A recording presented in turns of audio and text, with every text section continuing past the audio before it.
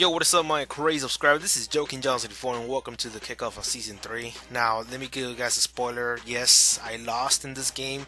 Maybe one of the worst games of all time here in Madden Ultimate Team.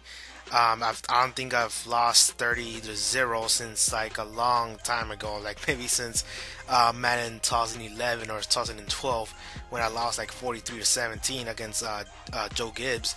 But um, like yes, you know, I, I, I like to give spoilers every time I lose. I mean, it's just really pisses me off because I could have done better. I believe that uh, maybe I could have called different plays and uh, maybe scored in some certain moments, but it didn't happen. So I do admit, you know, this one was really uh, a loss for me. Like, okay, I, came from a, a, a, non-losing season to a losing starter, like start a start of a season. So uh, it's just a wake up call, I believe. It's just really a wake up call of who to expect later on in later seasons. Also because you know season four is when the top, you know, you're already like in the top five thousands if you're already like in season four of uh, Ultimate Team, and um, you know going up there, you know you're gonna meet guys like this. You know people calling in strange defensive plays.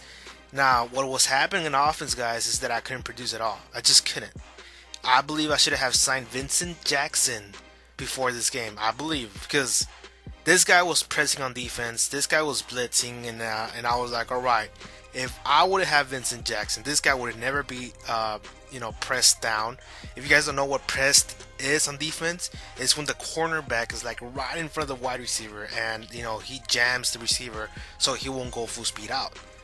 And uh, I believe if I would have Vincent Jackson in this game, maybe I could have produced maybe more than I would have. But uh, Eric Decker, Cordarrelle Patterson, and T.Y. Hilton couldn't do anything. They just couldn't. And you'll see that, that later on in my next possession, maybe in two possessions that uh, you know my receivers were dropping the ball, my my freaking screen didn't work. Just a bunch of shit happened in office that was just terrible, man. As you can see, a drop by the screen right there. I mean, I could have taken it of the way right there because he was blitzing.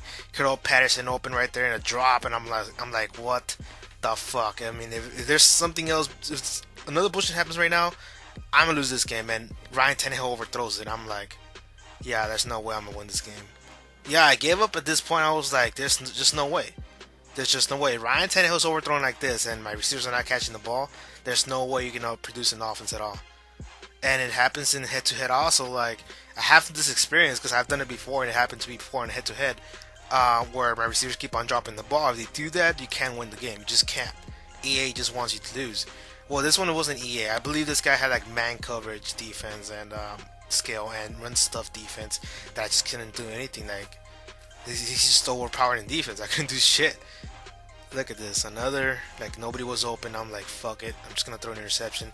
All of those touchdowns happened in the fourth quarter. By the way, look at the quarters. Fourth quarter.